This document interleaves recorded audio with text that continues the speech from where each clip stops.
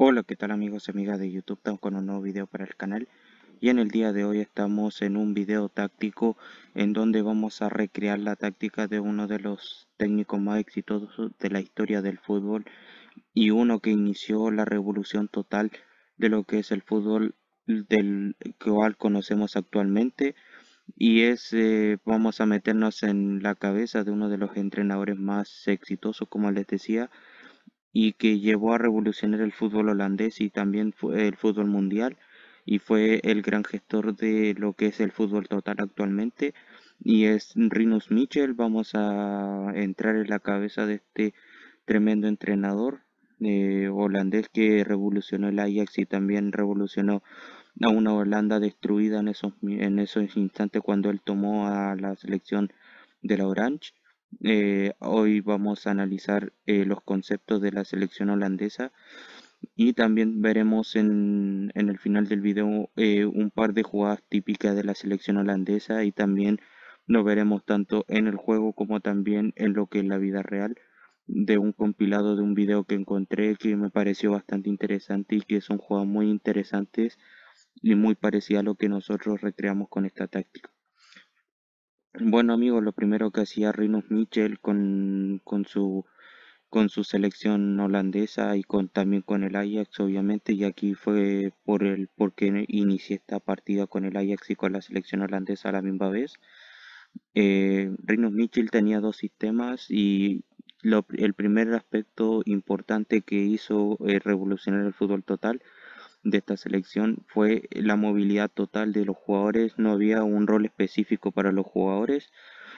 Muchas veces veíamos al gran eh, Johan Cruyff, que era un jugador total, no tenía un rol en específico y ha sido un rol muy difícil de recrear en esta táctica, que era un jugador que prácticamente muchas veces lo veíamos bajar a, a iniciar la jugada y es un rol que personalmente no he podido recrear tanto como en cierta forma eh, hacía los movimientos eh, Johan Cruyff, que como les decía muchas veces era el iniciador de jugadas y era un jugador que se regateaba a medio equipo para llegar a la otra área.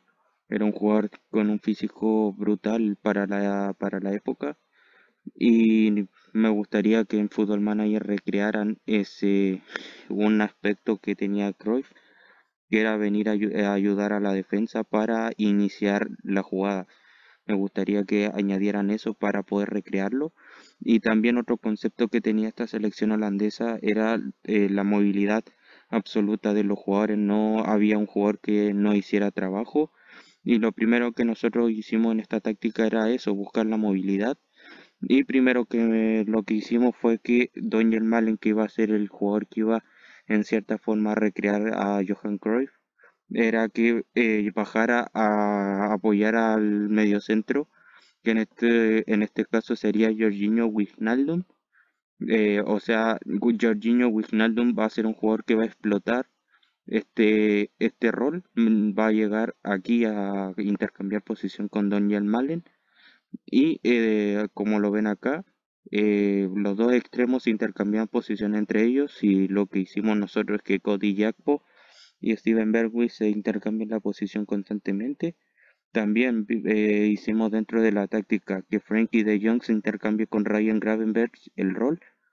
Eh, y también los laterales se van a intercambiar mucho la posición con los jugadores de banda. Y vamos a hacer que este equipo no tenga eh, marcas definidas. Vamos a hacer que intentemos enredar al equipo rival. Bueno amigos, vamos ahora con lo que es los roles. Y en primer lugar, eh, partíamos con un 4-3-3, con un portero cierre en ataque, un portero que se iba a, incorporar al juego ofensivo de nuestro equipo, dos carrileros en ataque con funciones de regatear más, abrirse con el balón, centrar más a menudo, central de la cal y subir más. Eh, de League sería el central eh, el primer marcador central y tenía el rol de abrirse a la banda para ampliar el juego de Holanda hacia los costados. Eh, Holanda era un equipo muy amplio en, en, en transiciones ofensivas cuando salía con el balón. También teníamos que Stefan de Brick se abriera banda y marcaje más férreo, un equipo que trataba de recuperar rápido y salir muy muy rápido por los costados. También carrilero en ataque para Daily Blind. Los dos laterales de esa selección holandesa eran balas. Y lo que tratamos de recrear, Blind quizá no es el lateral del todo rápido. También tratamos de traer a Tyrell Malasia a la selección, pero tuvo una lesión y se perdió lo que es la UEFA, eh, eh, perdón, la, la Liga Europea de, de Naciones. También trajimos a, de pivote organizador el jugador que se va a meter entre los centrales para sacar al equipo desde el fondo, Frankie de Jong. Eh, va a ser el, el 6 de nuestro equipo. Jorginho Wijnaldum con el rol de, de, organizador adelantado, aunque también lo ha hecho Gravenberg, que juega acá como el Metzala para explotar tanto los costados como también para llegar de segunda línea a explotar los lugares de Daniel Malen. De delantero interiores tenemos Steven Berwis con variar la posición y abrirse a la banda como características que nosotros le pusimos. Y aquí tenemos a Cody Jackpot que también sería con las mismas instrucciones que Steven Berwis, que varía la posición con Berwis y que se intercambien roles. Y el falso 9 que varía la posición y moverse entre línea y marcaje más férreo para intentar presionar lo más arriba posible y, e intentar finalizar la jugada. Eso sería la táctica prácticamente revolucionaria de Rinus Mitchell, una mentalidad de contrapresión. Holanda era un equipo muy rápido en transiciones ofensivas, mentalidad positiva, con posesión. Nosotros intentábamos con una amplitud eh, abierta, no ponemos muy abierta porque acá era un suicidio y creo que abierta va muy bien con lo que Holanda, un equipo bien abierto pero eh, también intentamos mantener resguardo, salir desde el fondo. Aquí en el último tercio no ponemos nada. Eh, ponemos libertad creativa ser más expresivo, ritmo de juego extremadamente alto y pases eh, algo más en corto.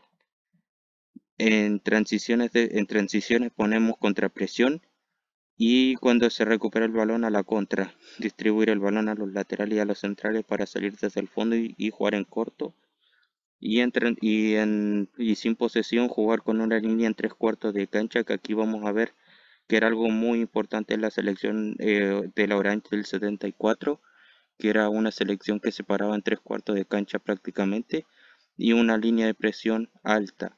Usar táctica de fuera de juego que era una estrategia muy importante de esta Holanda